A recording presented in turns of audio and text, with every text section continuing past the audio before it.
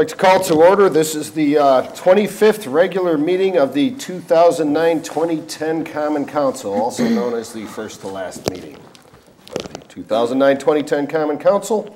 As is customary, uh, our city clerk Sue Richards will read the quote of the evening. Thank you, Mayor. Each time someone stands up for an ideal or acts to improve the lot of others or strikes out against injustice, he sends forth a tiny ripple of hope. Thank you, Sue. Uh, Roll call, please. Born.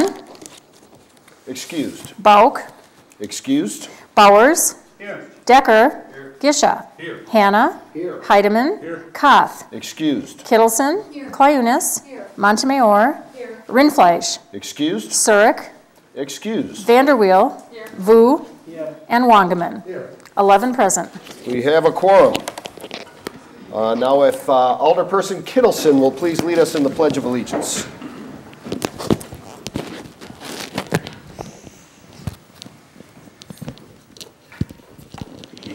I pledge allegiance to the flag of the United States of America and to the republic for which it stands, one nation, under God, indivisible, with liberty and justice for all. Thank you, Thank you, Gene. We have a uh, motion to approve the minutes of the prior Common Council meeting. So move, second. We have a motion and a second under discussion. If there is no discussion, all in favor, say aye. Opposed? Motion carries. Uh, Public forum. Okay, uh, first this evening, we have Dulcie Johnson. Dulcie, if you could come up to the mic, please.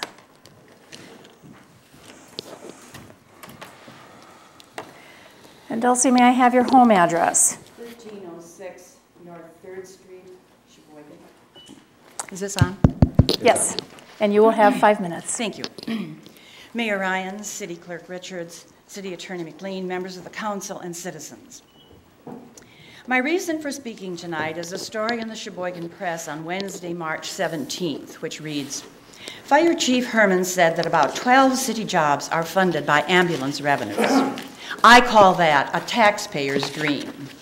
The marginal profit for the ambulance service for 2008 was $406,188. Those revenues can only be spent once, and $406,188 divided by 12 is $33,849. How many City of Sheboygan employees earn only $33,849 in salaries and benefits? The marginal profit for the ambulance service for 2009 was $280,000. Again, those revenues can only be spent once. And $280,000 divided by 12 is $23,333. How many city employees earn only $23,333 in salaries and benefits? That would be a taxpayer's dream. now, if you add the two years of marginal profit together, you could fund 12 employees at $57,181. But costs and revenues are accounted for on a calendar year basis. Revenues can only be spent once, and city employees are paid every two weeks, not every two years. Chief Herman also said there's going to be a big hole in the general fund if they decide to shut the ambulance service down. If the council had approved lifting the hiring freeze and hiring three firefighter paramedics to be able to continue the ambulance service, which was Chief Herman's request, and the $180,000 in salaries and benefits of those three hires were charged to the ambulance service, as the finance director said they would be, a marginal profit of $280,000 would be reduced to $100,000, which would not fund 12 city jobs. Further, I have learned that the Firemen's Union has negotiated a 4% salary increase for 2011 and a 2% premium for firefighter paramedics for a total increase of 6%, which will further reduce the marginal profit.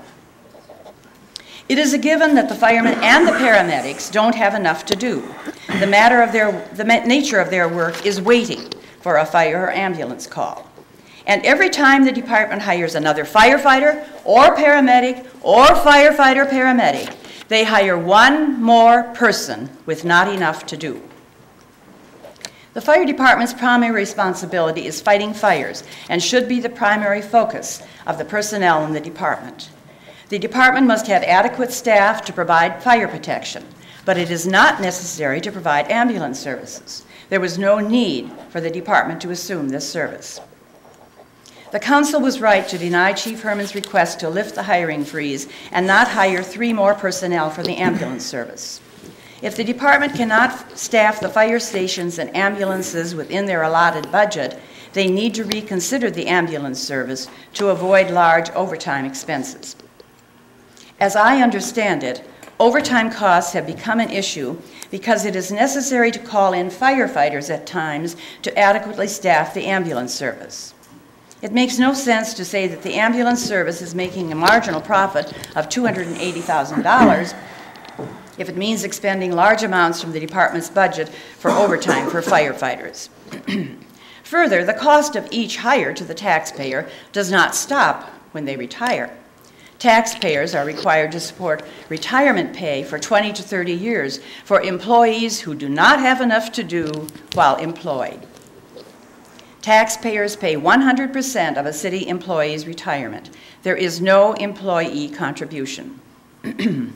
Chief Herman now realizes that he needs to take one ambulance out of service.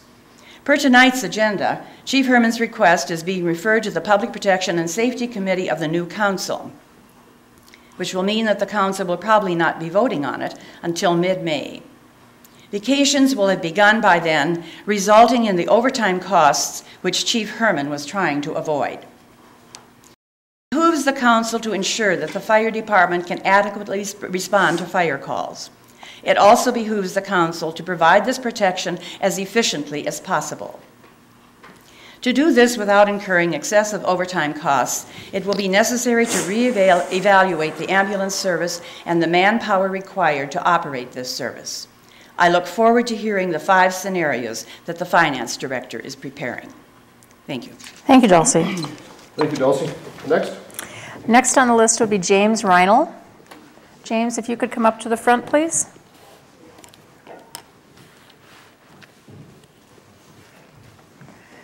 Jim, you may want to pull the microphone down just a little bit so that everybody can hear you. Are you implying that I'm short? No, not at all. Not at all. I need your home address. Home address is 512 South Water. My name is Jim Reinl. And uh, I've been living there since 83. Well, that doesn't have much to do with this, but what I'm here for is that sweeper that comes through our streets. He's got brushes on there and he's always in the middle of the street. He can't get to the sides because there's cars parked there. Now, um, this year I noticed both sides of the streets still had leaves in from fall. Uh, I don't know, I, I figured that the only way a person could get by with getting these cars moved where I live, uh, there's, uh, what have I got the list here? Uh, uh, we've got uh, residences, let's see. We've got uh, 17 residences and from Water Street, which, which is three blocks long, and there's only uh, eight driveways, and there's approximately, well, let's see, I figure there's 29 families that live there. And we've got a problem with parking all the time. So what I suggest is, why doesn't that, we have for one week, everybody flip-flops like they do in winter. They park on one side and then the other side. One day on one side, one on the other side. I don't like this parking in winter neither does everybody else, but it works real good. Ever since they had that, our snow plowing has been excellent. So this is what I, that's what I came up here for. I, I tried to, I called one all times, never even called me back. I finally go, got a hold of Mr. View and he came over to the house, so I want to give him credit for that. I've been trying to get this done for a while. Now, the other thing is, in regard to flip-flop parking, if they could uh, uh, stop the flip-flop parking uh, when uh, daylight saving time comes, like in the middle of March, that would be, I think that'd be a lot better. Probably we gain two weeks and we'll take it. They did it once year in, two, in 2008. They did cut it out on daylight saving times instead of April 1st. Daylight saving time comes about the middle of August, and uh, we'd appreciate if they look at that. I didn't think I had to come up here and speak about all this. I thought I could talk to my alderman, but um, that's why I'm here.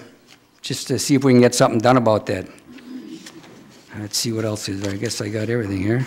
Okay, that's about it. Thank you, Jim. Thank you, Jim, and uh, we will have uh, uh, your matter referred to the Public Works Committee. It can be discussed in the new, new Public Works Committee of the new council. Okay, that's all for public forum? That's it. Okay, uh, next we have the, uh, the mayor's announcements, which is always my favorite part of the day. Uh, Thanks to uh, Alderperson uh, Jean Clyunas, who's a good Catholic on our council, uh, we are now going to know this as the mayor's time to pontificate. So, thank you, Jean. Uh, This the time the mayor can say whatever he wants and uh, can't get in any trouble for it, so I thank you for that, Jean. Anyway, uh, that, that was just a joke, and I thank Jean for that. She dropped it off at my office uh, last week. Um, Mayor's announcements. Uh, All of the uh, aldermen uh, have on your desks, all returning aldermen, uh, what I commonly refer to as the wish list. Uh, This has uh, uh, to list in, uh, in your order of preference, standing committees that you would like to be assigned to. Uh, This will also go out to the aldermen-elect. Um, And also all of the other committees that uh, require uh, aldermen on them. And if you can, uh, uh, please let me know your preferences. I can't promise everybody everything, obviously, but I would like to know what uh, committees people would like to serve on. Same thing that I did uh, last year. So try to, try to keep, keep everybody as happy as we possibly can in a government such as ours. Um, Another thing I'd like to talk about, which uh, I thank uh, Dulcie Johnson for speaking on uh, the fire department, and uh, one of their primary duties is being, uh, is uh, fire protection and fire suppression, that's what they do. Um, I know that uh, on the council, and this is my time to pontificate, so I can say this. Um, On our council, we've had uh, some questions about, uh, is our fire department overstaffed, and do we have too many firehouses, do we have too many firemen? Uh, And there- there's been some comparisons to West Bend, and that West Bend covers uh, 40 square miles, and uh, they have uh, half the firemen that we do. And they use a uh, uh, partial, part- partial full-time and partial part-time fire department or something of the sort. Well, it just so happens that um, last week, there was a fire in West Bend and a fire in Sheboygan. These fires started in an apartment in a building that was the exact same footprint. It was the exact same building in West Bend as Sheboygan. Um, The particular building in Sheboygan up on Calumet Drive, um, the assessed value on this property is $724,000. That's the property tax assessed value. Um, The fire department arrived, the fire started approximately the same time of the day, during the day. Uh, Fire department arrived, got the fire under control. Uh, The major damage was the unit that the fire started in, the apartment unit that the fire started in. There's 24 units in these, in these, both of these buildings. Um, In West Bend, uh, the fire started also on the same floor, in the same building, exact same style. Uh, That building burnt to the ground. So that's when we have to look at what does the fire department do. Uh, The building in Sheboygan, they, uh, they estimate within two to three months it will be free of smoke and every, all the residents will be able to move back in. It will stay on the tax rolls. The building in West Bend is a total loss. So that's what we have to look at, and that is my pontification for the day. I thank you. Uh, Alderman Bowers is now is not the time to comment. May may I speak, please? No? No. Okay, moving on. Uh, We, uh, hearings. Have uh, four hearings.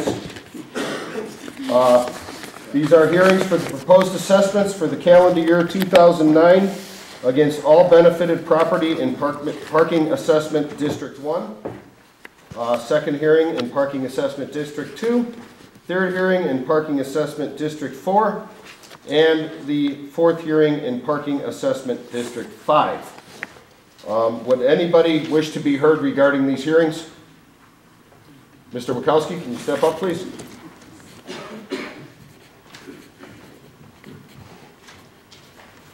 Mr. Wakowski, can you give me your home address, please? Ed Wakowski, 2632 North 8th Street. Okay? I'm sure none of you are surprised on the council that I'm here tonight to speak. But I was very surprised, very surprised at the quote this evening, because I feel like that someone, and I certainly feel like he, as part of your quote.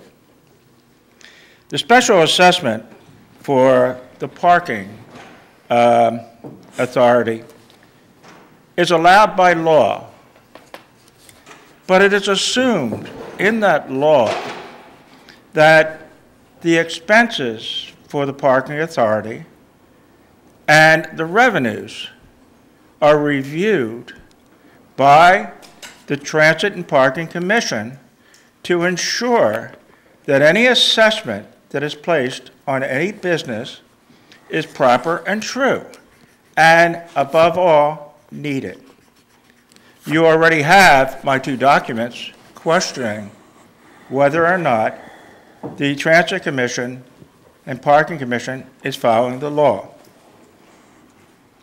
To give a blank check to the Transit and and Parking Commission to assess any properties without knowing whether or not the assessment is needed, the amount of money that is going to be assessed to these properties are appropriate, what the expenses are regarding the parking assessment districts is also very important.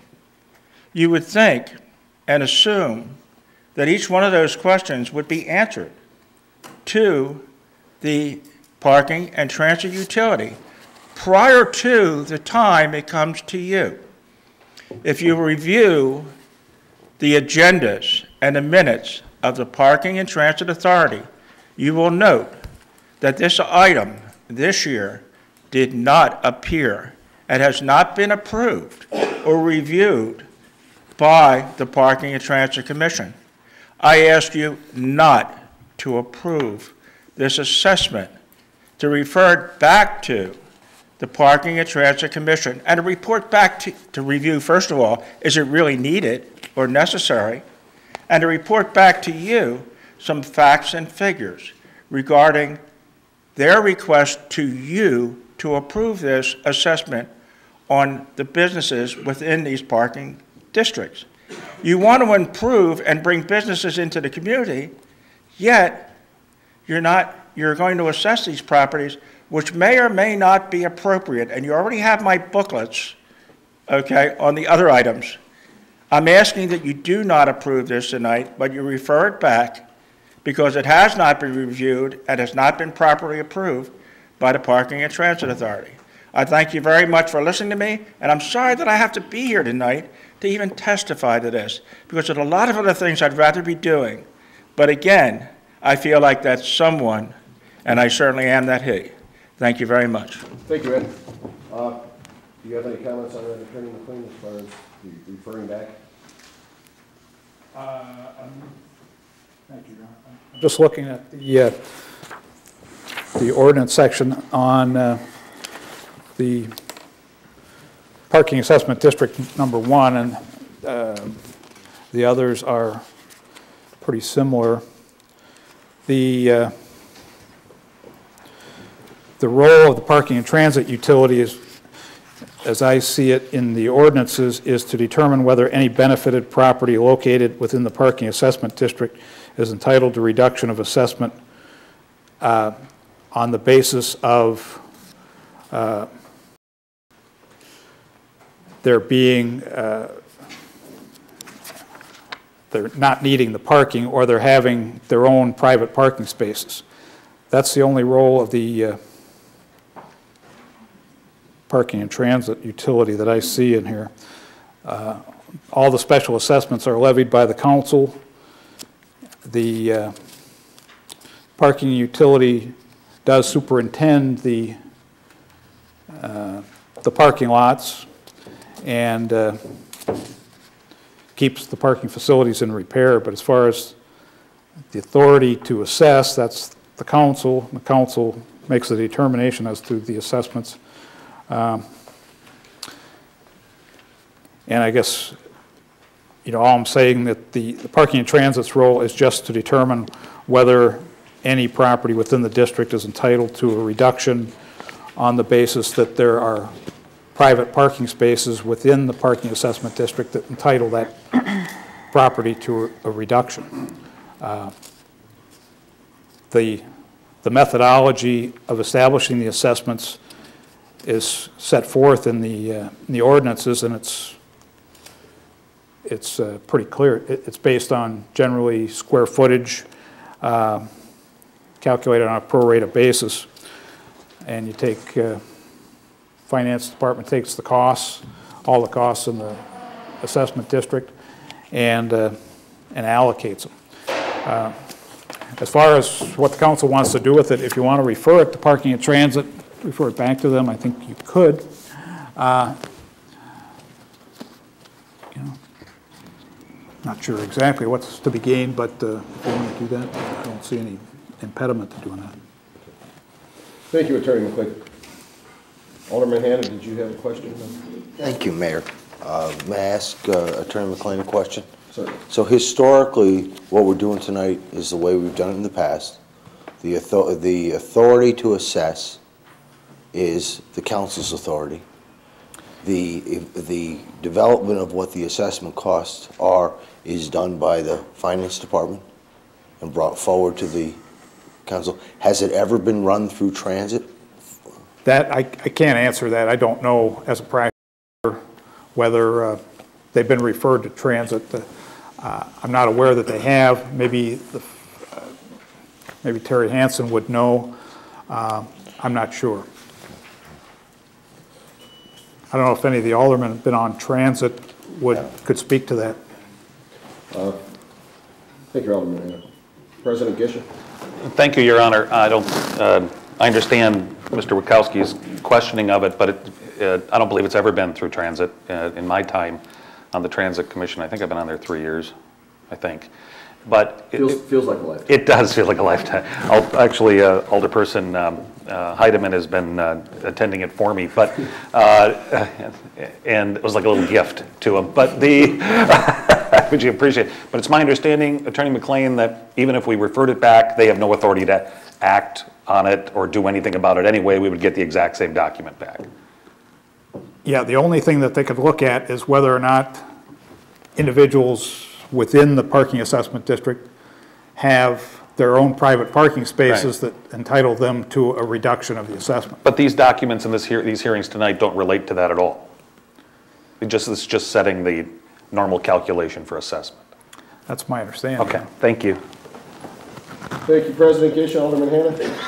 Second time? Yeah, I'll- I'll, this is, I'll stop. This It's just one, one question, and that's, uh, I mean, the public hearing is the time which I would think people would come forward and say, and, and seek a reduction. And, and this is exactly what we're holding, is a public hearing, so we have that information to act. And if somebody comes forward, we refer it back to, to transit so that they can make that adjustment. Thank you, Alderman Hannah. I believe that uh, our Director of Development, Paulette Enders, has a word to say.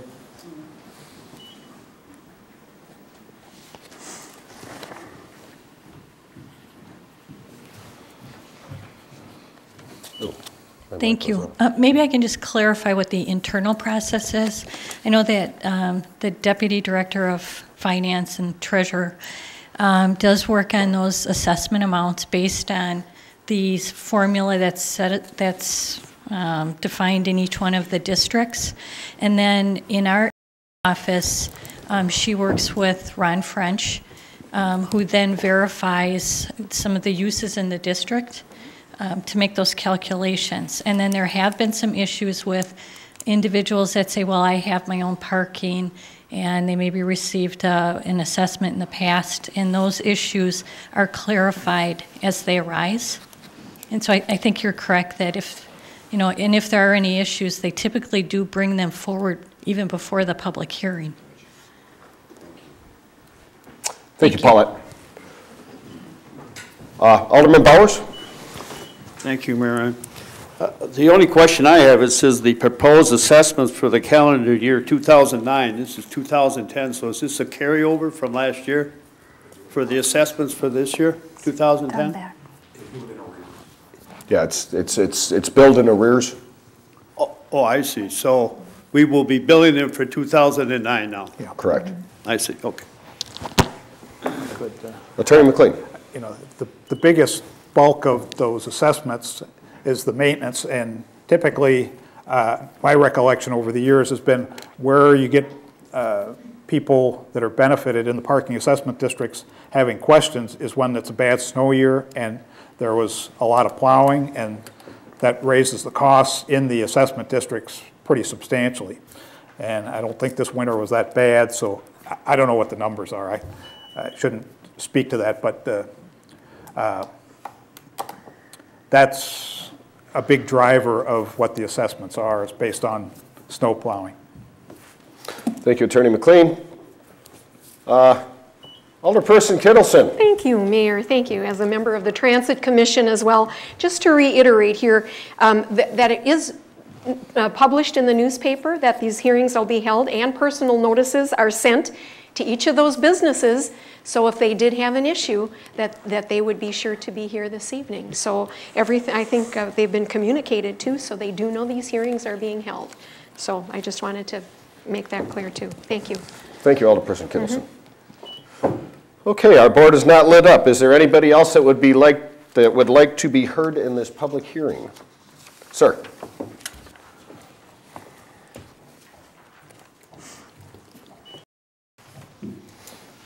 Mike Reinbold from Novak Ram Ziegler Funeral Home located at 1535 South 12th Street. It- Uh, it- Which funeral home, I'm sorry? Novak Oh, Novak, Ram okay. Ziegler. And your Leibold, is it? Reinbold? Oh, Reinbold. It's E R-E-I-N-B-O-L-D. Okay, go ahead.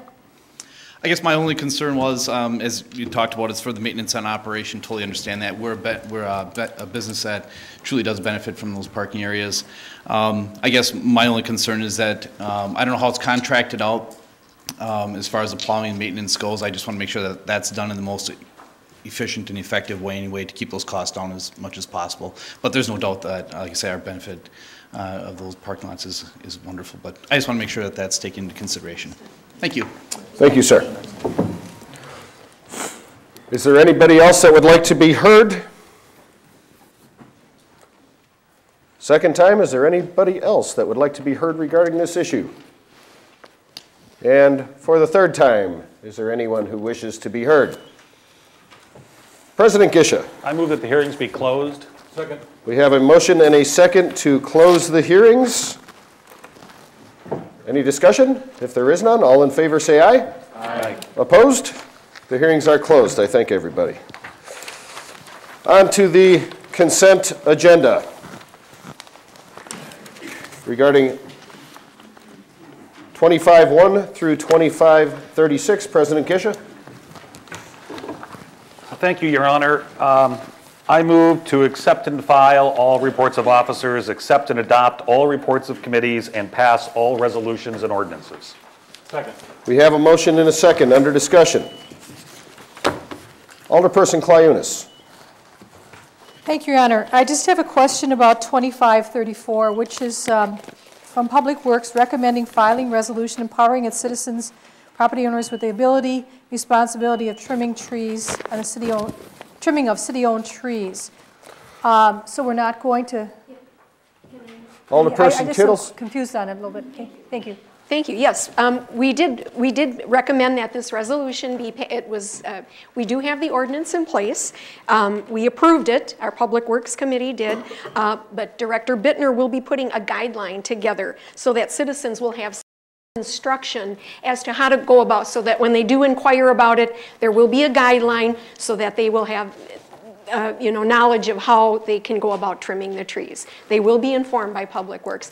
Director Bittner is coming forward with that information. That's so yeah. everybody doesn't trim all the branches to save the Ex- leaf raking? Exactly, exactly. So that is, that is coming, some instruction. Thank you. Understood, thank you. Uh, yes. Sue? Um, Just a question. Yes. Um, This document, if passed, files the resolution. That's what this document Right, does. and that's what But we, filing is not passing the resolution. well, we don't need to. Oh, that's what because you we wanna already- do. that- Right, we already have that in place. All righty, very good. Right. It's just a matter of educating, of- of tweaking that and bringing out the, uh, the guidelines. Guidelines. So that, yes. Thank so you, that we know what to Alderperson do. Kittleson. Next, we have That is. Alderman Hannah. Has been on our books since 1968, that the citizens have the right to trim their trees. All they have to do is show up at the Public Works office, uh, sign some paperwork, and then they're allowed to trim their own trees. We would like to give them some guidance, so there's some uniformity in the trimming, but we've had this on our books since 68. I had a slow day and looked it up. It's very good. Uh, And I will remind everybody, we have 100 items on the docket this evening, and uh, the election's over. Yeah. Attorney McLean. Just to amplify what Alderman Hannah is saying, there's a permit process that is in the ordinance. that- And a private citizen can get a permit. And the, the reason for the permit is so that private citizen just doesn't go trim the tree in whatever style of, of decoration that they might, uh, might wish. And, uh, and what Alderman Kittleson was talking about is that the, uh, the director is working on some guidelines for citizens when they apply for the permits. But I think there had been some uh, uh, misunderstanding, I think, at Public Works Department about citizens' ability to trim the trees. Okay, thank you, Attorney McLean. Any further discussion? If there is none, on the consent agenda, 25-1 through 25-36, we have a roll call, please. Bowers? Decker? Gisha? Hannah? Heidemann? Kittleson? Clunis? Montemayor? Vanderweel? Vu?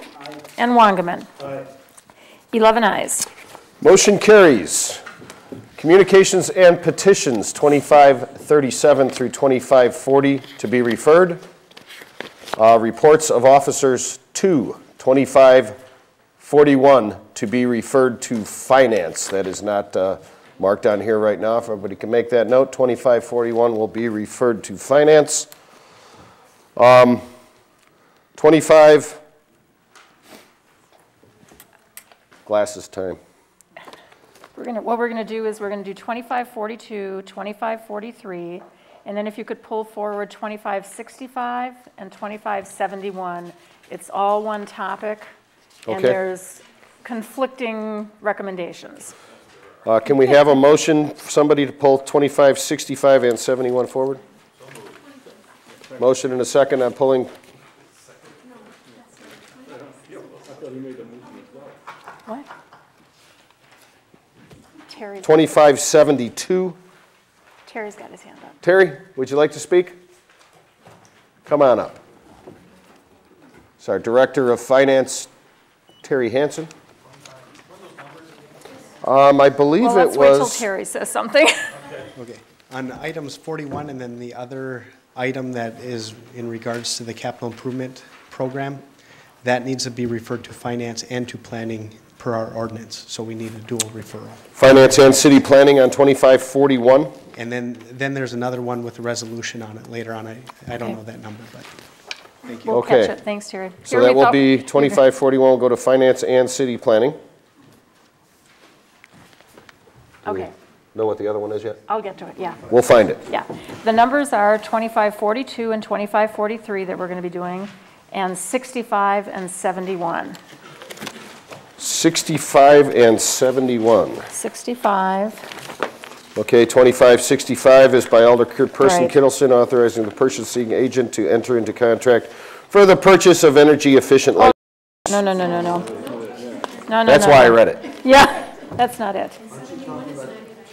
I have 2572 listed on mine. Committee of the Whole? Yeah, that's the one.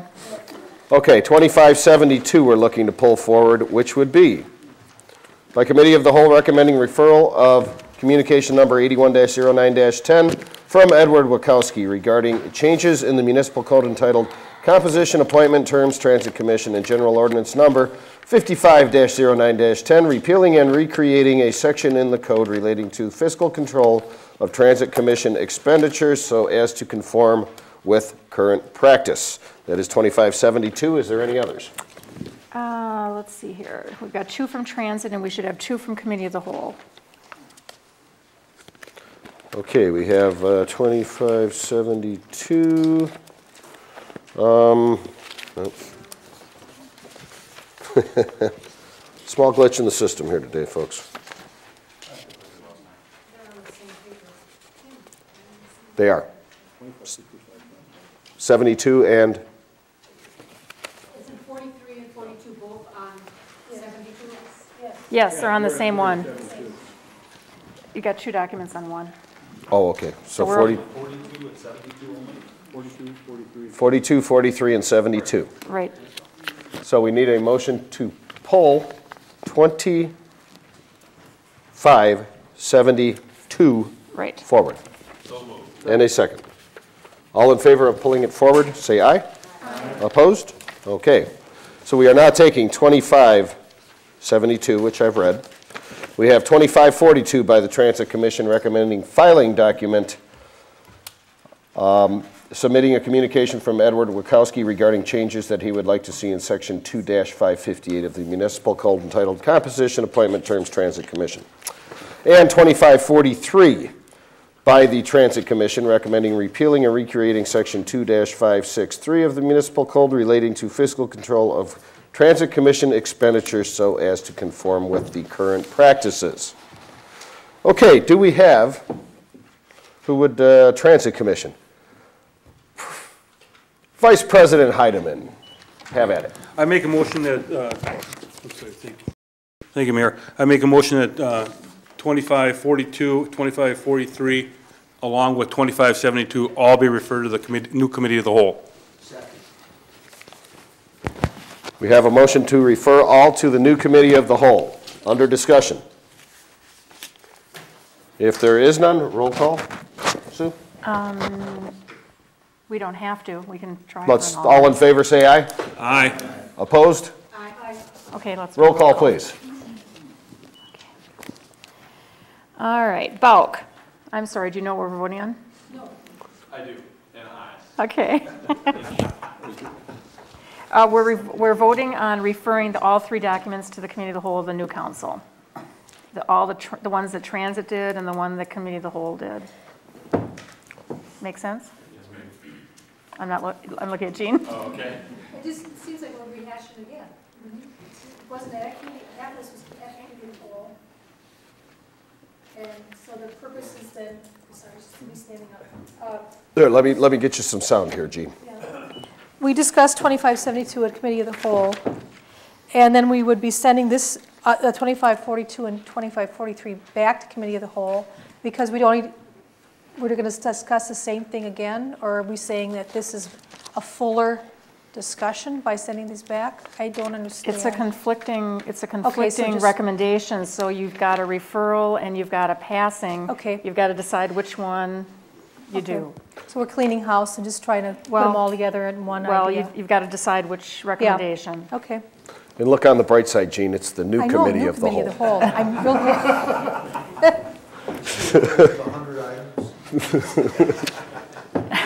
Okay, under further discussion, Alderperson Kittleson. Thank you, Mayor. I guess, I- Attorney McLean, I- I'd like you, could you just, on that second one there, with the municipal code relating to fiscal control of the Transit Commission expenditures, so as to co- conform with current practice. I I mean, I thought, didn't we, we did that, correct? correct? Didn't you come forward with some, uh, with an, or, didn't we come forward with changing or, or doing something that would make the practice that we are uh, allowing right now conforms to the ordinance? That's the general ordinance number 550910. Okay, and are we doing anything that is out of the ordinary or that we shouldn't be doing or or what we're doing illegal or anything like that? I guess that's the question I, I need to know. Uh, The answer, I mean. What are we doing? Uh, General Ordinance 550910 was uh, requested in order to conform conform. our ordinance to what the current practice is. Correct. And are we doing that now? We are doing that. We've conformed to what the, what our ordinance is. We're not currently conforming to the letter of the ordinance. And That's, that's why the request was to amend the ordinance to reflect the current practices. Okay. And so we are doing that though now? No, we're not. Okay. Uh, You'll be doing that if you adopt If we General adopt Ordinance this- number Okay. 550910. Thank you. Point of order, I think we're in the middle of a vote. Oh, Here on, and you were about to call roll on Right. referring these to the new committee of the whole, if I don't recall correctly. It- Do you just, do you understand, I Jean, what we're going to do now? I understand, thank you. Okay, Okay, roll call, please. okay. Bauk, I got an aye. Bowers? Aye. Decker? Aye. Gisha? Aye. Hannah? Aye. Heidemann? Aye. Kittleson? Clayunas? Boy, that. Okay, Montemayor? Uh, Vanderweel? Vu? And Wangerman? 11 ayes, one no. Motion carries. 25-44 through 2558 to be referred. Resolutions introduced, three. 2559 by Alderman Gisha, approving the terms and conditions of the amendment to the Moeller Building ground lease between the Redevelopment Authority and Moeller Development Company LLC. President Gisha. Thank you, Your Honor. I move that the resolution be put upon its passage. Need to suspend. Uh, Excuse me, uh, uh, I also believe we need to do a suspension on this, and uh, I would be happy, although in the absence of Alderperson Ryan Flesh, I would still be happy to explain the need for suspension. Uh, Very good. We have a motion to suspend. Do we have a second? We have a motion and a second to suspend. I Explanation, apologize. please. Thank you. I apologize for calling resolution passage before suspension. The, um, uh, the Muller building lease is going to kind of expand the space of it, uh, and they're going to be paying additional rent for that additional space. And they're going to be putting in through, um, I think, uh, Restoration Gardens out of Kohler, uh, a, a complete garden, a go-go thing with a lot of flowers, a lot of hanging stuff. Uh, It should be quite garden-like, and that's what this space is going to do, and the reason we need to do it is so that they can get it in. in What is the garden a go-go? Yeah, un- unless that's incorrect, Paulette, uh, I'd say, perhaps the agogo was a little much, but the, uh, the general idea. I don't was just time- visualizing something different there with the I garden know, it's a good point. That would be, that would be a little further north. But the, I, uh, I don't spend a lot of time in garden stores, but it's going to be like that. Okay, very good. Thank you, President Gisha. Under discussion, Alderman Bowers? Thank you, Mayor. This is just a Uh. Here again, I notice that there isn't any address, and I think I've addressed this before, but uh, if we, in the, in the future, if we could uh, put addresses on, I'd like to know where this place, I think it's on Michigan Avenue, isn't it? Uh, no, it's on the South Pier. Oh, it is? Yes. Oh, okay. Well, I, I guess that's why I like addresses. Uh, President Gisha, please. Uh, Alderman Bowers, the very last page of your document has not only the address, uh, the township, but uh, the, uh, noting that it's on South Pier, but actually has the exact coordinates of the property if you wish to maybe Google it in via satellite. So it, the address is listed in quite detail on the back end. Thank you, President Gisha. Okay, the motion is uh, on the suspension. Does anybody uh, disagree with suspending the rules? If there are no disagreements, the rules are suspended. Now, may we have a, Thank you. I move that the uh, resolution be put upon its passage. As, thank you. we have a motion and a second to put the resolution upon its passage. Under discussion? If there is none, roll call, please. Bowers? Decker? Gisha? Hannah? Heidemann? Kittleson? Clayunas? Montemayor? Vanderweel? Vu? Wangerman?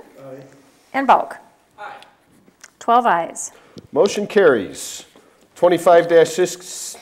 25-60 by Alderperson Clayunas declaring May 16 through 22 as Bike and Walk to Work Week, in addition to challenging the city of Manitowoc to a non-motorized mileage challenge. Alderperson Clayunas. Thank you, Your Honor. I'd like to um, amend this uh, to put in the correct dates, but You first I'll put the resolution upon its passage, and then to amend it. Um, We need a second on that first. Second. Okay. Uh, If you just would take a look at your document, the dates should be um, June 5th to June 11th. Oh. I was looking at last year's um, dates. It's June 5th to June 11th. June And that would be changing it also on the letter to uh, Mayor Justin Nickels of Manitowoc, June 5th to June 11th.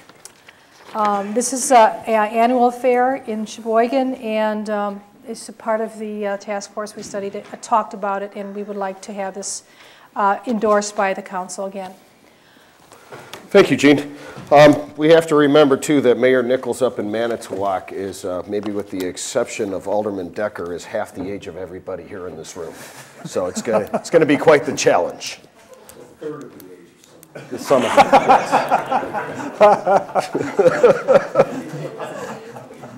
Okay, we have a, uh, we have a, a motion to amend in a second.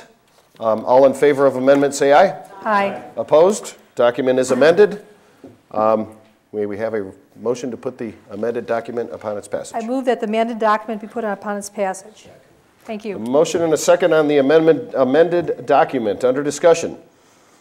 If there is none, roll call, please. Decker? Gisha? Hannah? Heidemann? Kittleson? Clunas? Montemayor? Vanderweel? Vu? Wangerman? Bauk? And Bowers? 12 ayes. Motion carries. 25-61 by Alderpersons Gisha, Bowers, and Koff, authorizing retaining outside legal counsel to represent the city in the matter of Ronald Bear against the city and authorizing payment for said services. Alderman Bowers.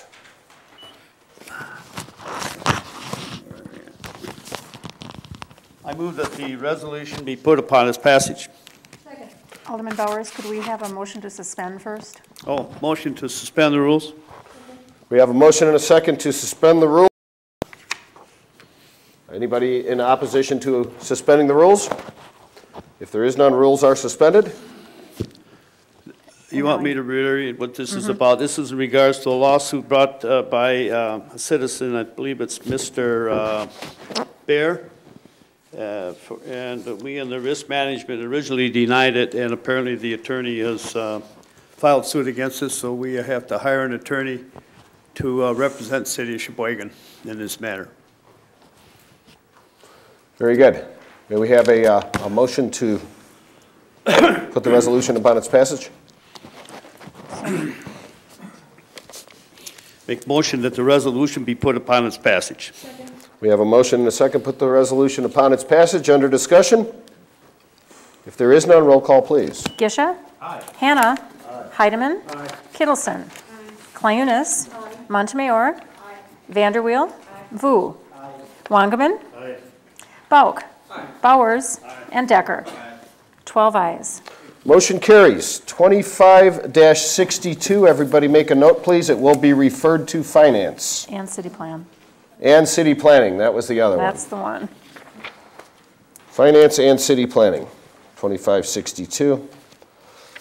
25-63 by Alderpersons Gisha, Heidemann, Kittleson, Bowers, and Hannah, forming a special budget subcommittee of the Strategic Fiscal Planning Committee to rever- review areas of potential savings and efficiencies.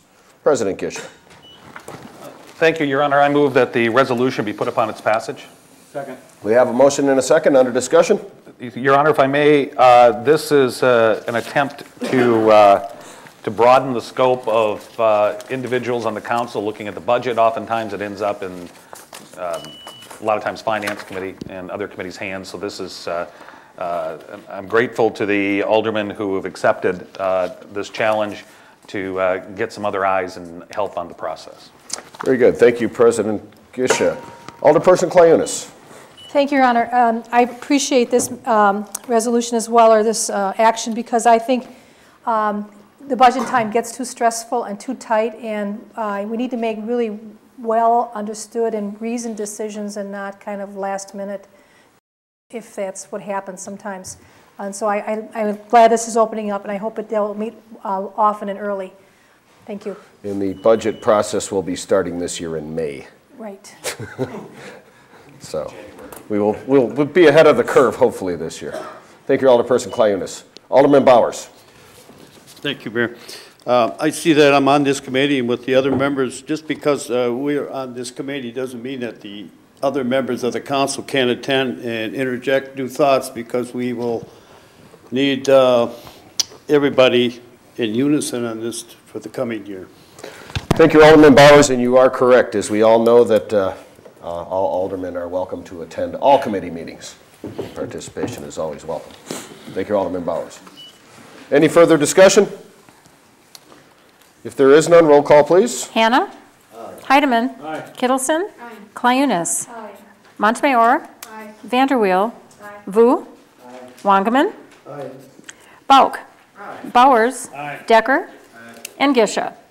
12 ayes. Motion carries. Um, 2564 through 2568 to be referred. Uh, 2569 by Aldermans, Alderman Cirque and Vu, authorizing entering into a dock space agreement with Anglers Avenue LLC, um, will be heard tonight instead of being referred to the Marina and Harbor Committee. Alderman Vu. Thank you, Your Honor. I'd like to make a motion to suspend the rules. We have a motion to suspend the rules and a second under discussion. The reason is that the, uh, the Marina and Harbor Committee has agreed to rent a dock to Mr. Russell Gahagan, and that um, rental dock will start in May 1st. So then we don't have enough time for the next council meeting. Very good. Um, Do we have any opposition to suspending the rules? If there is none, rules are suspended. May we have a motion to put the resolution upon its passage? I move that the resolution be put upon its passage. Uh, Another thing that will go along with that is the, uh, the, if you, you have read the uh, contract or the agreement letter, it says that there's no overnight docking. Um, Mr. Russell has requested that uh, he will have a small boat docking overnight. And the committee has agreed uh, to accept his re- request. A letter will be typed and sent to him to confirm this agreement between the city and him. And so this, I don't know if it will be a separate motion or not, but uh, this will be part of the uh, agreement. Right, uh, yeah, Mr. Mr. Gahagan does have uh, a small demo boat that is provided by one of his suppliers that he's going to be docking at this dock. Second. Do we have a second on the motion? Do we have a First- second? First, let's get a second on the resolution be passed. Right. Okay, now we need a motion to make an amendment to the, Uh, no, we're not actually amending. You're not amending No, it? that is actually going to go as a separate agreement. just Okay. the- Correct, Attorney McLean? Right. Right. okay. Okay, we have a motion and a second. Any further discussion? If there is none, may we have a roll call, please? Thank you, Alderman Vogt. Heidemann. Aye. Kittleson. Clunus. Montemayor. Aye. Vanderweel. Vu. Wangerman. Bauk. Aye. Bowers. Aye. Decker. Gisha. And Hannah. Aye. 11 ayes, one abstention. Motion carries. Report of Committee 6, 25-70, to be referred. Reports of Committees 7, 2571, and 2572 to be referred. Actually, 2572 we pulled forward before. Right. 2571 to be referred in that case. Reports of Committees 8, 25-73 by Public Works recommending directing that various committees, commissions either be merged, eliminated, or reassigned at the end of the current council year, which is April of 2010, and passing the attached substitute resolution.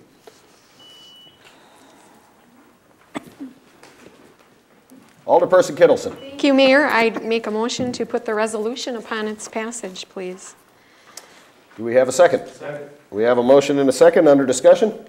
Under discussion, um, I hope everyone has read, you know, Public Works Committee will, will eliminate the building use and add those duties to the Public Works Committee.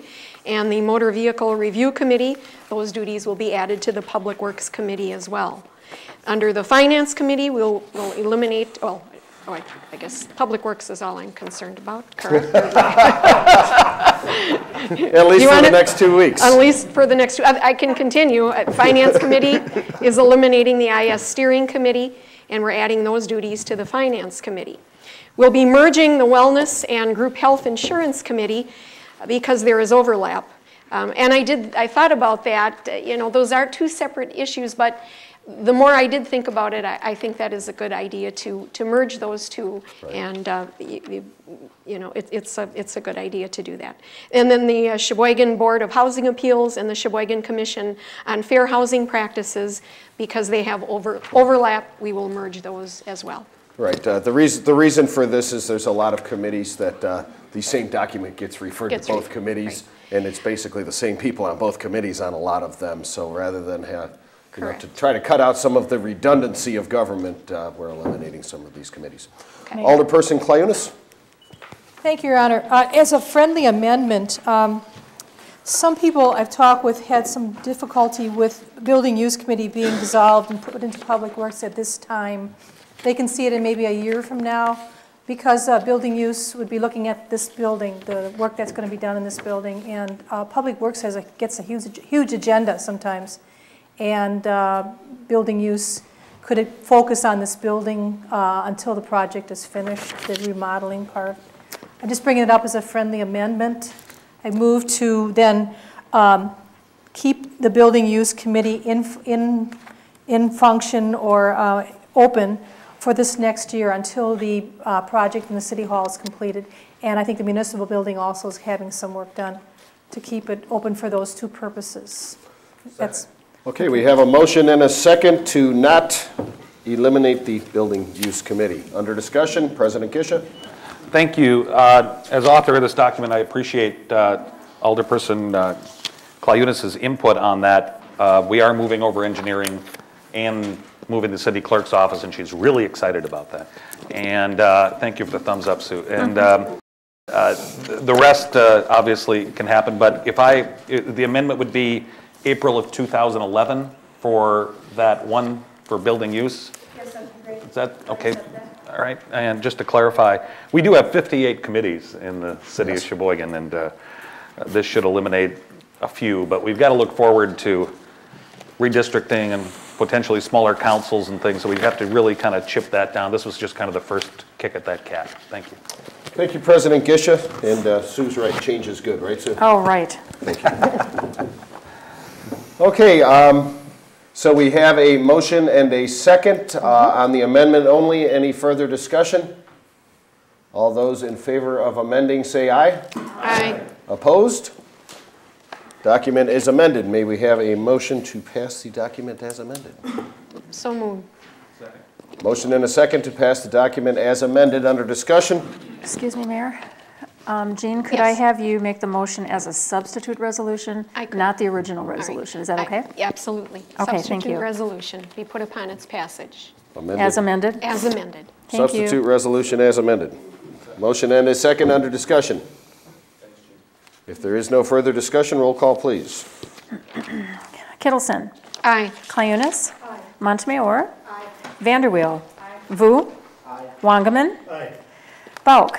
Bowers. Decker. Gisha. Hannah. And Heidemann. 12 ayes. Motion carries. 2574 by Finance recommending authorizing a transfer of appropriations in the 2010 budget, establishing appropriations for purchase of land in the industrial park, and establishing appropriation for contribution to the Sheboygan County for Business Development, and passing the attached substitute resolution. President Gisha. Thank you, Your Honor. I move that the report of committee be accepted and adopted, and the substitute resolution be put upon its passage. We have a motion and a second under discussion.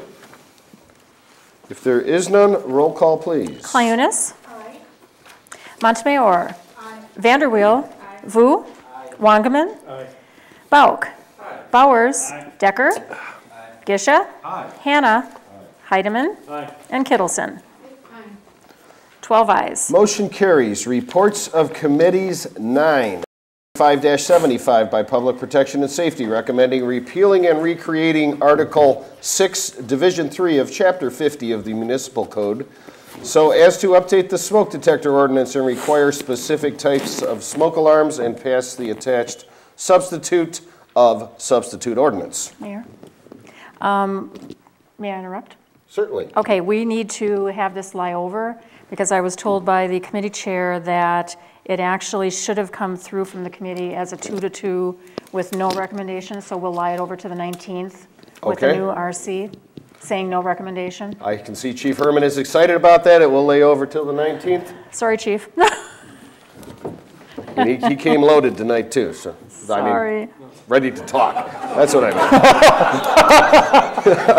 That's what I mean. Sorry about that, chief. Loaded, Uh-oh. loaded for bear, put it that way. Okay, that's what I meant. Yes. Um, What happened was, I received a note saying to pass this substitute of the substitute ordinance. Alderman Hanna said that in the committee meeting, they actually voted two to two. It was a, t- and there's no rec, they wanted to do no recommendation at all, so, because they, it was a tie vote, you know, it was two to two. hold this over instead of just saying, by the way, there really wasn't a recommendation.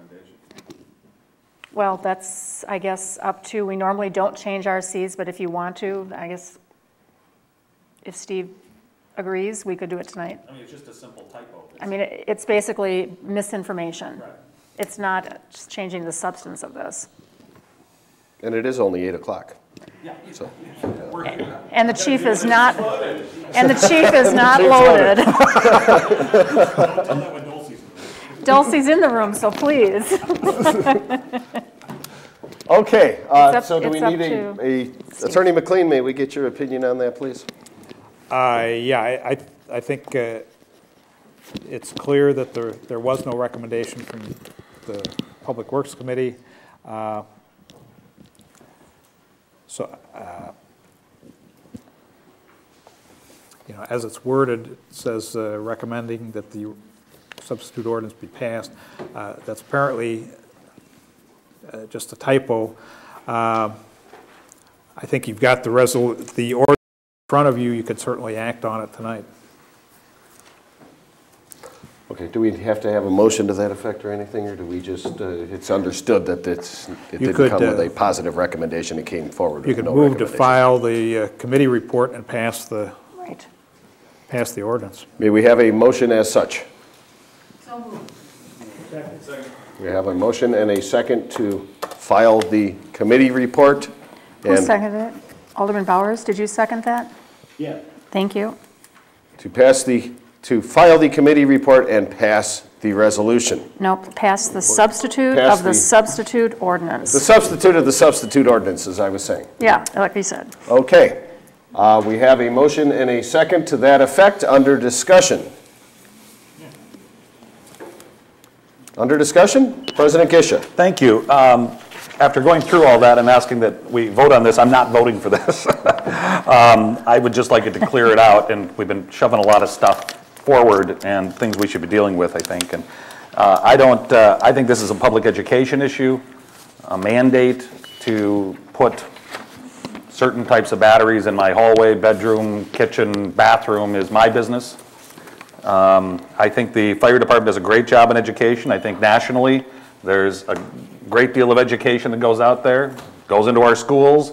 Um, uh, I'm happy with making my own decision on types of batteries I put in an electronic device in my home and where I put them. And uh, for that, I ask that, um, that the council consider, uh, members consider voting against this.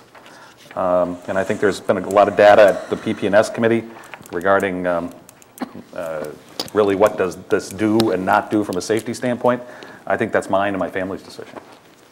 Thank you, President Gisha. Next, Alderperson Montemayor. Thank you, Mr. Mayor. I remember sitting in on the meeting, even though I'm not a member of the committee, and it seems to me the, the the consensus of the committee was, we cannot decide, so please let the council decide. So I think it's good that we're taking this action tonight. And I will support it. I, uh, uh, Alderman Gish, I agree with you on many things, but I do think this falls in the same category as wearing a seatbelt. And 100 years ago, not spitting on the sidewalk, it was for public health. And I do think my brother-in-law would not be wearing a seatbelt except that it's a law. And I think this may be the case of people doing the safe thing because it's a law. Thank you. And I think it's still illegal to spit on sidewalks. Right. Because of tuberculosis, that was the reason. Right. Exactly. Thank you, Alderperson Montemayor. Alderman Hanna. Oh, thank you. Um, As I walked around talking to people, this was a hot topic. They thought, uh, again, they feel education's great, um, but they think this is an expensive mandate requiring the new smoke detectors in every bedroom, so I'm not going to support it. Thank you, Alderman Hanna. Next, we have Alderman Bowers. Thank you, Mayor. Uh, I'm on this uh, committee, and of course, uh, there- there's been a great divide on this. What we're entrusted to do is for the benefit of the community. Now, if you take people that are interested in city government, there aren't very many. Tested by yesterday's vote, what'd we have, 10, 12%? 15%. 15%. 14.7%. All right. It was pretty sad. Everyone that I talk to says, I changed my batteries. I'm not worried about those people. I'm worried about the ones that don't. And if we pass this law, it's going to be a 10-year battery, and we won't have to worry about it. Because you take uh, people that don't care, when the Christmas comes up and they have toys, they take it right out of there, and they never put them back. So I'm in favor of this, and uh, I would like to see it passed. Thank you, Alderman Bowers. Next, Alderman Vu. Thank you, Your Honor. I just have a question for the installation requirements, letter A, number two. A smoke alarm powered by a non-replaceable, non-removable battery capable of powering the smoke alarm for a minimum of 10 years. What kind of battery that will last 10 years? Uh, Actually, this is a, a new type of smoke detector, I believe. It's a whole new unit that would be purchased um, with a, what is it, a lithium battery? Yeah, it's a lithium battery as opposed to your regular 9-volt transistor type batteries. These days, uh, lithium batteries will not last 10 years, they last two to three years. Um, Would anybody like to uh, comment on the new type of smoke detector with the 10-year battery? Peace in the House, Alderman Bowers? I just purchased two uh, a couple of weeks ago. They were fifteen dollars, and in the instructions, it indicates that the battery will last 10, 10 years, and I believe they say it's a lithium battery. And uh, there are some you can put in that you cannot get out. The ones I bought, you cannot get them out if you put in a certain uh, screw. So uh, either way, it's a 10-year battery. So the company sells them as 10-year batteries, I imagine they would have to last 10 years. So, if That answers your question, Alderman Vu? Yes, thank you. Thank you. Okay, thank you, Alderman Bowers. Next, we have Alderman Wangerman. Thank you, Mr. Mayor. I'd have to go along with what my constituents tell me, and I've gotten more phone calls on this than almost anything I can remember in the last five years or more. I mean, people are against it. They feel it's a nibbling away at their private uh, rights in their homes, and uh, they're very much against it. And uh, they feel that it's just not necessary at this time, and I'm not for it either. In fact, I don't even know if I'm going to live 10 years. Is that a motion? Thank you, El- Thank you, Elder Statesman Wangerman. Next, we have Alderman Bauk. Thank you, Mr. Mayor. Well, uh, if I could ask the chairperson, was there, what was the dialogue around even enforceability of this, other than if inspectors are coming in at the time of new construction or perhaps of a, a new landlord, but how could we even enforce this? Thank Alderman you. Hannah, would you like to answer that? There is no means of enforcement except after the fact. Okay. That they've gone into a fire. Right, right. They haven't been there, and then there's a fine. There is, there will be no lithium battery police running around the city. Okay. As much as you may want Because, them to. well, no, because I think, it. I think all of Alderperson Wangerman's co- uh, constituents called my constituents and had them call me too, because they don't think it's a very good idea because they're concerned about the lithium battery police. Police. And my, you know, and when I, I, my dog poops on my neighbor's yard, so he calls and reports me as having ineffective, uh, you know, smoke alarms and to send the police to check it out. So there, there are all kinds of crazy ideas about enforceability. It's unenforceable. Uh, my constituents don't want it, so I'm going to vote against it too. Thank you. Uh, Chief Herman, would you like to comment on this? Yeah, he does. Yeah. He's come loaded for bear. Yeah. Thank you for finishing the sentence.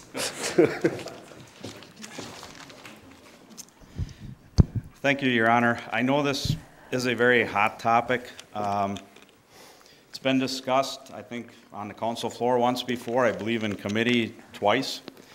Um, This is not a problem that's unique to the city of Sheboygan, the problem with nine-volt uh, smoke detectors. It's dated technology. Uh, Cities around the state, around the country, are facing this problem. What is unique to Sheboygan is we're being proactive. Uh, We will be, if you would pass this, would be the second city in the state to pass an ordinance uh, similar to this. Uh, There are cities around the country that have gone way beyond this. I believe Pontiac, Michigan was the most recent one that passed an ordinance saying that every smoke detector needed to be hardwired within a year. Now, that would be, excuse me, the best system that we could have. That's currently what the new building code is from 1995 on. That, in my mind, is unreasonable. That would mean that every house in the city of Sheboygan that was built prior to 1995 would need to be hardwired. Which is 99% of them. Correct. And that, that's not reasonable in my mind. What we have presented, I believe, is reasonable. The stronger the ordinance that you put on the books, the better chance that we have of saving lives. I believe that we put forth the most reasonable, cost-effective ordinance that we could. We've given five years for the people to comply with it. There is no means for enforcement. There currently is not now. We are not able to get into single and two-family homes to enforce the ordinance. The only time that we get in there is when they have a fire or some type of other occurrence in their home, and we get in and do an inspection. We do not cite people. We assist them in bringing their property up to code. Whether we spell out the means that they need to do it and, and show them where they need to place their smoke detectors. In some instances, if they're not financially able to do it, we will put detectors in for them. We have programs where we have uh, donations given to the department, and we have detectors on hand, and we put them in for the people. We plan on expanding that program if this is passed. I know that one of the, the problems that people have with the new ordinance is requiring smoke detectors to be put in each bedroom. That was written in there to mirror the new building code. That is the same as what is in the building code now. Uh, When we are in school programs teaching the children now, we teach them to, to sleep with the doors closed. If you would walk through that apartment building on 25th and Calumet Drive and look at the apartments where the doors were closed versus the apartments where the doors were open, you'll see the difference in the damage that are in those apartments. That's the reason that we teach people to sleep with their bedroom doors closed, to protect themselves, to separate themselves from a fire. That's one of the reasons that it's important to have a smoke detector inside the bedroom, because we're asking you to sleep with the bedroom door closed, you separated yourself. And the other reason is the second most common place for a fire to occur in the home is in the bedroom. So, be it candles, smoking, um, auxiliary heating equipment, whatever, that is the second leading cause of fires in the bedroom. So that's the other reason um, that it is important that smoke detectors are placed in bedrooms. So I would encourage you to pass the ordinance as it is written. As I said before, the stronger the ordinance, the better chance we have to save lives. Thank you, Chief, well spoken. Alderman Bowers. Thank you. Uh, Chief, if you could uh, tell us uh, on the, uh, the building at 20, is that 29th Street or 25th? 25th. 25th, how, uh, how many of those apartments did have smoke alarms that were operable? Do you have any idea? Uh, Maybe you don't. I I couldn't tell you, that's a little bit of a different system because it is a, an apartment building that has more than two uh, apartments. They are required to have an interconnected hardwired system. Oh, But okay. inside the apartments, uh, those, if this ordinance would be passed, those detectors would then have to be 10-year lithium detectors inside the apartments. Okay, thank you. Thank you, Alderman Bowers. Alderman Vu? I have a question, probably this question is for um, Chief Herman. Might Uh, as just- hang out for a while there, Chief.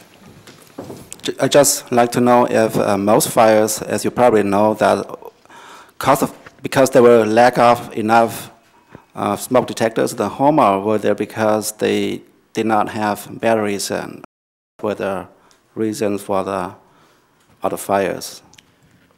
Well, the reason for the fire uh, doesn't have anything to do with the smoke detector, but the problems that we're seeing with the nine-volt detectors, uh, it's kind of half and half. The, a lot of them are 20 to 25 years old and they're just not working anymore. But the majority of them are people are taking the batteries out for whatever reason uh, and not putting them back in. And one of the, the features of the 10-year lithium batteries are that they have a silence button on them. So if you do burn a pizza or you burn toast in your house, you push the silence button and it silences the alarm for 15 minutes and then it's active again. Versus backing out that battery and forgetting about it, or as one of the aldermen said, taking it out to put it in a toy because the battery's dead, uh, that does not happen with these lithium detectors, which um, should solve a lot of our problems. Thank you, Alderman Vu. President Gisha. Not for you, Chief. Sorry. I knew you'd be looking forward to getting back. Uh, I just want to make it clear that uh, I, and I'm sure every member of the council uh, who votes yay or nay on this, is not, is not opposed to this new technology. I think we're opposed to mandating the new technology. Um, just like when the old system came out with 9-volt batteries, that was revolutionary. and uh, soon that was the only ones you could buy. I assume within five years, the only, the only smoke detectors you can probably buy are those with the lithium. But that's my decision for me and my family. Uh, I also wanted to mention that I don't think the fire department did this for some crazy conspiratorial reason that uh, to to be busy or to do that. I think their their heart is in the right place, and they and they really uh, felt it was the right thing to do, and with the trends they're seeing around, uh, I think it's misplaced to mandate something we can't enforce. It's a waste of our time and, and manpower and limited resources. So you're saying the chief is not a major investor in lithium battery companies or? We'll be looking into that later, but I assume not. Yeah. Great, thank you. Thank you, President Gisha. He's not happy back there. Write that down, Dulcie. And that was a joke, chief, so don't take it to heart. Um, Okay, any further discussion? If there is none, roll call, please. Okay. Everybody know what they're voting on? Wait. Chief is, Uh, Chief Herman. I left the mic on figuring you might come back on. you're turning a bit red, chief. I'm getting used to it. Uh, I I guess before you vote, um, rather than seeing you vote this down, uh, if if that's your intention, and I, that, that's the feeling that I'm getting, and I'm I'm sorry to hear that, but I would throw this out there that if, to give you another option, that if the bedrooms are the problem, and I truly believe that they're very important, but that you would consider amending it to take the bedrooms out, and in that place, uh, insert a sentence that says you need a detector within six feet of the doorway of each sleeping room, which is what the current uh, smoke detector code is right now. So what you would really be doing is replacing all nine-volt smoke detectors with 10-year lithium detectors, if you would amend it to that. Within five years. Correct. Do we have a motion on that amendment? Would anybody like to? I would make that amendment. Second. We have a motion and a second on the amendment. Now, discussion will be on the amendment only. Only, I think that requiring the lithium batteries within, what did you, say, five, five? Six feet. Within six feet, and, and I think that that would be a good, uh, a good compromise to this. Where is that in your ordinance you showed me? Okay, thank you, Alderperson Kittleson. Alderman Bowers? Uh, Now, this is a discussion on the amendment only. Alderman Bowers. Yes, well, if, if if there has to be a compromise, I would go along with that. The operative word here is the 10-year lithium battery, and it has to be replaced uh, when the old ones wear out. As people have said, we don't have uh, police running around checking batteries. But I think the chief has said before, the only fatal fires that we've had in the city of Sheboygan in the last 10, 15 years have been places that did not have batteries in their fire alarms. Now, this, what this will do, we're not protecting the people that are complaining to us because we know that these people put their batteries in, they don't take them out. We have to protect those that don't protect themselves and their children. So if we have to go along with the compromise, I will back that. Thank you, Alderman Bowers. President Gisha.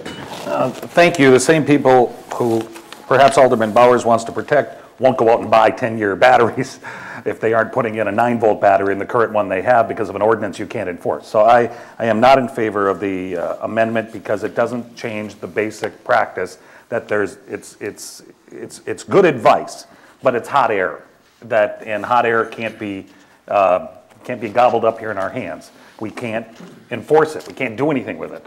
And I think it's uh, therefore wonderful education, and I think that's where it needs to stand. Thank you, President Gisha. Discussion on the amendment only. Any further discussion? Your Honor, if I could address uh, Alderman Gish's concerns. Certainly. Um, I would say that the majority of the properties that we're seeing the problems in are two-family residences, uh, rental residences, where they would, the landlord would now be required to install a lithium detector so the tenant could not tamper with that detector. Question follow-up? President Gisha? Thank you. Chief, uh, even if the tenant takes the battery, I- I'm not, I'm not aware of how these rules work, is it not still the landlord's requirement to make sure that there's a working battery in that, uh, whether it's a 9 volt, 12 volt, or whatever?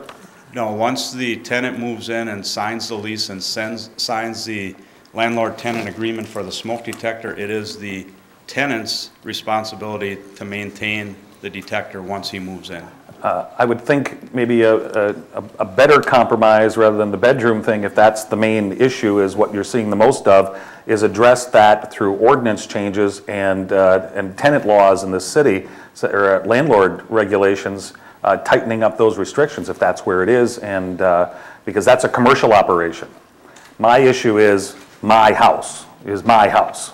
And I think uh, uh, I would encourage the council to vote down the amendment and vote down the resolution, uh, the ordinance rather, and then go back uh, with an ordinance addressing the specific problem you mentioned and make it uh, a landlord issue. That's a commercial operation, uh, and I think if there is no requirement, we can make one. Make them put the 10-year in. I don't think anybody have an issue with that. Thank you. Thank you, President Gisha. Any discussion on the amendment only? If there is none on the amendment only, may we have a roll call vote, please? Okay, everybody know what the amendment is? I will try. Um, It's in section 50-664, under B. It would say now, smoke alarms required in A shall be installed and maintained in the basement on each floor level and within six feet of the doorway? To the sleeping area. And would also do the same, it would replace that, put that sentence in in C also. and within six feet of the doorway of each sleeping area. And it would take out in both paragraphs and in each bedroom. Are we all clear on the amendment? Okay. Okay, if we are, roll call, please. Vanderweel. No. Vu. Aye. Wangerman. No. Bauk. No. Bowers. Aye. Decker. No. Gisha. No. Hannah. No. Heidemann. No. Kittleson. Aye. Clayunas. Aye. Montemayor. Aye.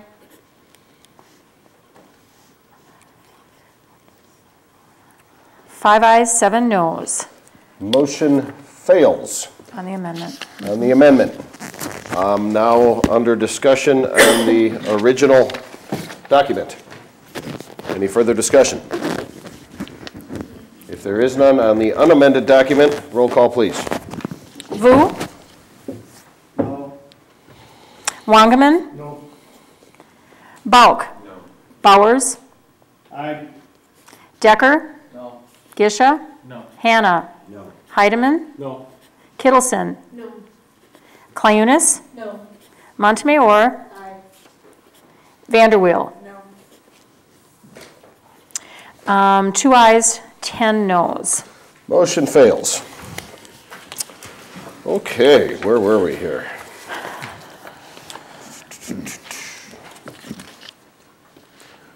That was uh, 2575? Yep. 2576, by salaries and grievances, recommending amending the municipal code to amend the minimum education experience requirements for the position of fire chief for the city of Sheboygan. Vice President Heidemann. Thank you, Mayor. Um, I put the, re- I make a motion to accept and adopt the RC and pass the ordinance. We have a motion and a second under discussion. Okay, this was discussed at salary and grievances. We all agreed uh, that we should change the requirements, uh, the, the, um, for the fire chief to have a bachelor's degree uh, in fire science, um, emergency management, uh, public or business administration, and also included a master's degree in public administration or a related field.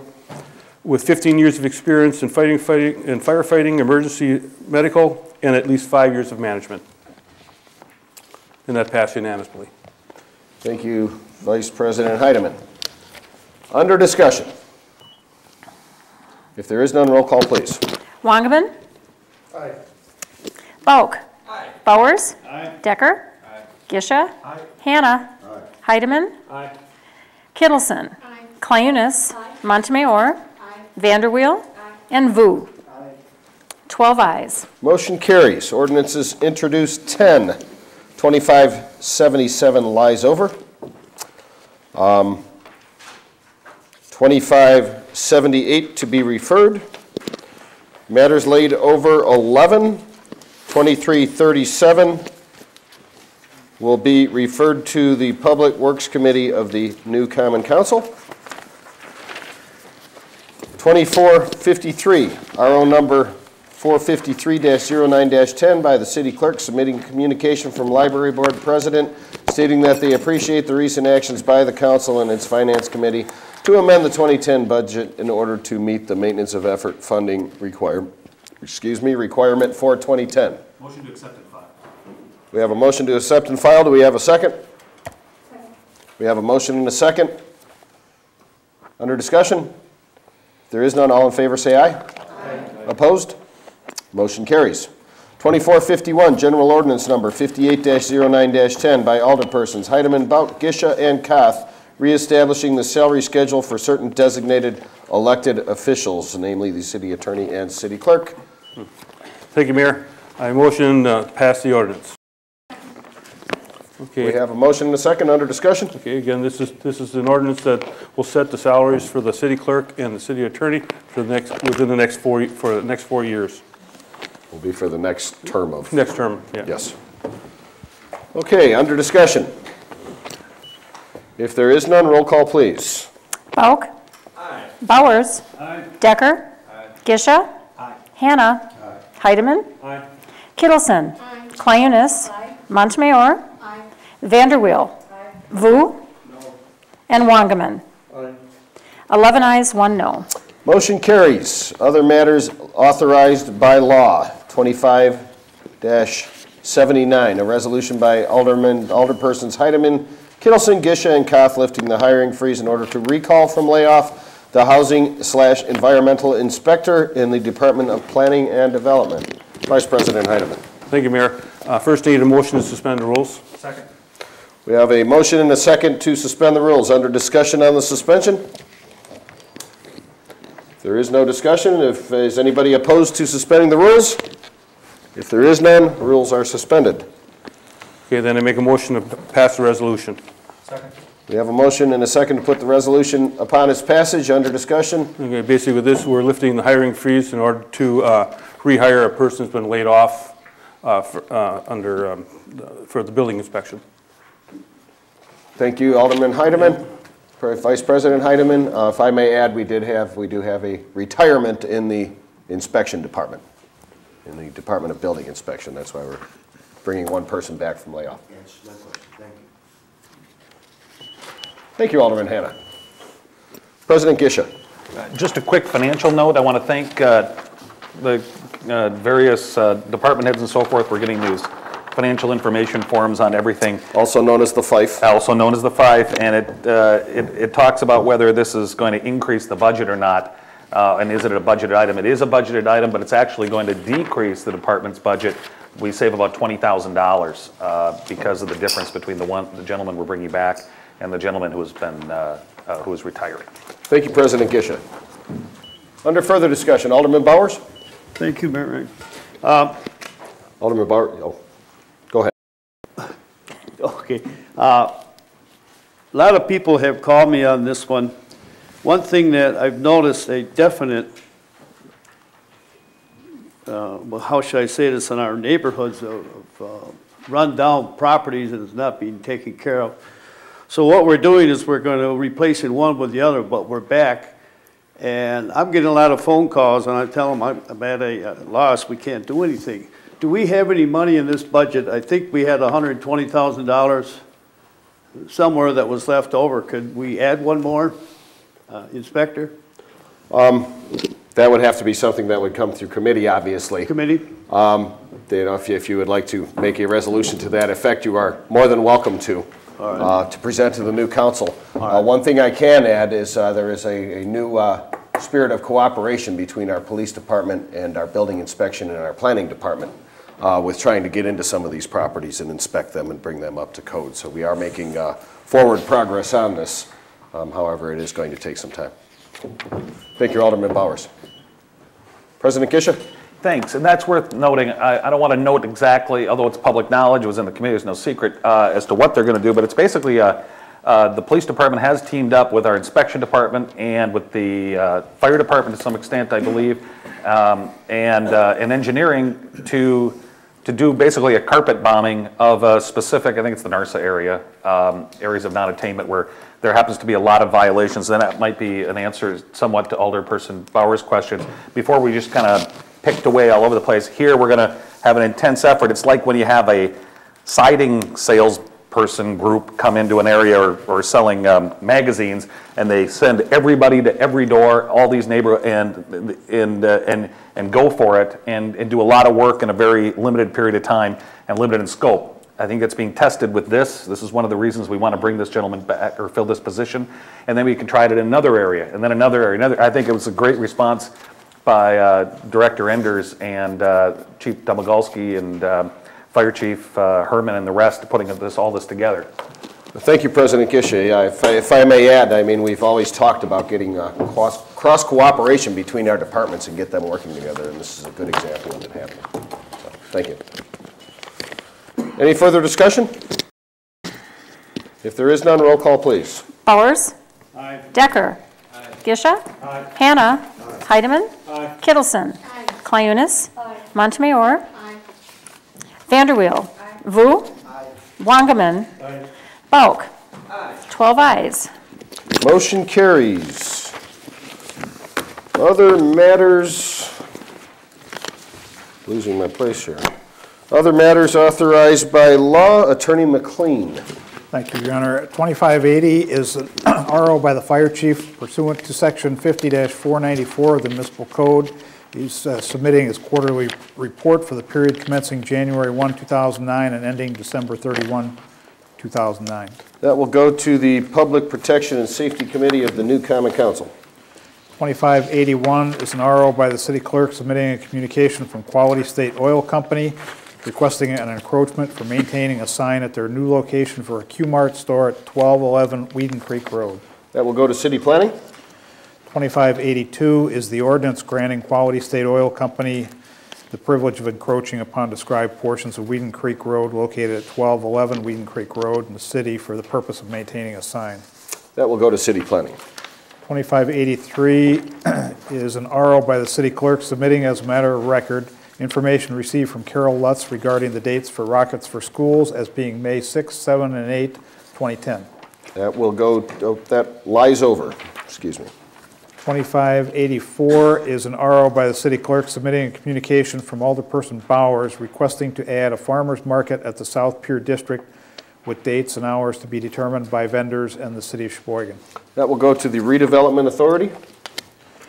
2585 is a resolution authorizing entering into contract with the Sheboygan County Chamber of Commerce for tourism promotion and development services and dissolving the city's Tourism Advisory Committee. That will go to Finance.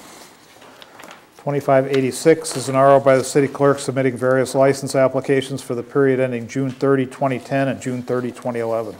That will go to Law and Licensing. 2587 is an RO by the city clerk submitting a notice of injury in the matter of Amanda J. McKettrick and the Sheboygan Transit System for alleged injuries while alighting from a bus operated by Sheboygan Transit bus driver on the A Street and Georgia Avenue. Will be referred to risk management. 2588 is an RO by the city clerk submitting an appeal to the sex offender residency restrictions on behalf of state inmate Jason Alfonsi. That will go to the Public Protection and Safety Committee of the new Common Council. 2589 is a resolution authorizing executing an agreement with AECOM Technical Services, Inc. to provide consultant engineering services relating to infrastructure upgrade of sidewalk gap filling. That lies over. And that is all we have. Do we have a motion to adjourn? Uh, President Gisha, would you like to speak first? J- Just uh, before, uh, I know there's a few aldermen missing tonight, just so people don't maybe get the wrong impression. We normally, of course, meet on Monday night. There was a Citizens Academy, Police Academy tonight, and a lot of the aldermen signed up for that. And I believe tonight is like graduation night. I don't know if they get the tassel moved or whatever it is they do, get to use the 45. I'm not sure what it is, but. Nine uh, millimeter. Nine millimeter. Uh, So that's the reason some of the aldermen were in absence on kind of an odd night for council. Motion to adjourn. Thank you, President Gisha. Motion to adjourn in a second. All in favor, say aye. Opposed? We are adjourned. Thank you.